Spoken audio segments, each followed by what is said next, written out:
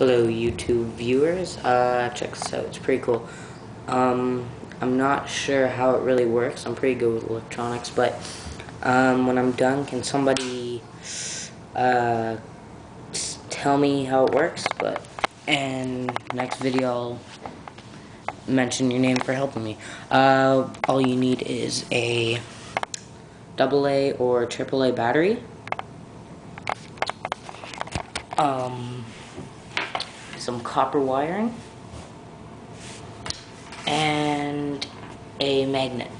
I use a rare earth magnet. It I don't know if it matters, but check this out. Watch here. So you take the copper wiring and a bit of YouTube magic, boom, you form it into some type of thing to hold it hold the battery and the magnet. Put the magnet on the battery, just like that, and have to make sure the bottom will go around the magnet and have to have a part touching the top. And once you do that, have them both touching, spins. You have a homemade motor here.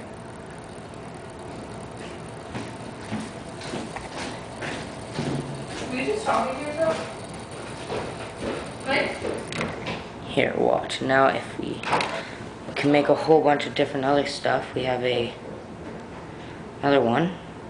Doesn't work as well, but it does work. It works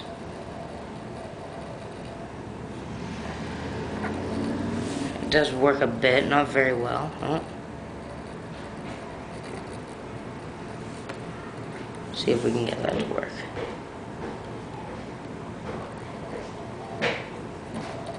There, that works a little, a little bad.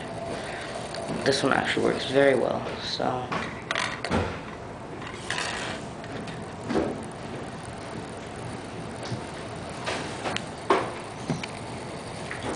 Cool. Uh, if anybody can tell me how it works, uh, comment. See ya.